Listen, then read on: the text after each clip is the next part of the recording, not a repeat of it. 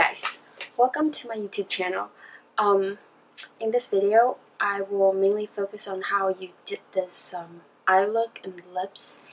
I've already put foundations and everything on in my brows, so like I said, it's mainly going to be the lips and the eyes. I just want to keep it short.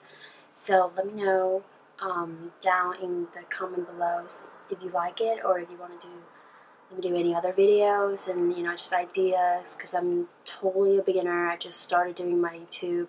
So yeah. Hope you enjoy. Thank you